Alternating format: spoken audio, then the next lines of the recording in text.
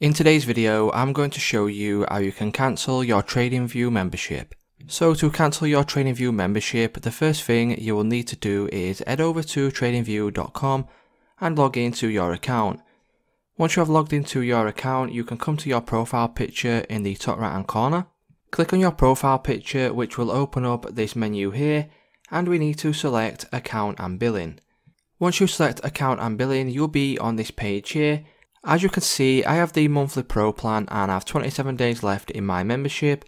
And if I wanted to cancel this, what I can do is come over to the right hand side here and click on cancel auto renew. Once you click on that, you'll be obviously asked if you want to go ahead with this and you can click on continue to cancel. You will then get a little questionnaire here and you can click on whichever one of these you like. So I'll just click on other. What you can do from here is simply click on continue to cancel. And once you click on continue to cancel, this is the last option that you will get. So as you can see, it's time to decide yes, cancel me, or you can click on no, keep everything as it is. So if you want to cancel, you can click on yes, cancel me. So that's how easy it is to cancel your TradingView membership guys. If this video did help you out, please leave a like on today's video and I will see you in the next one.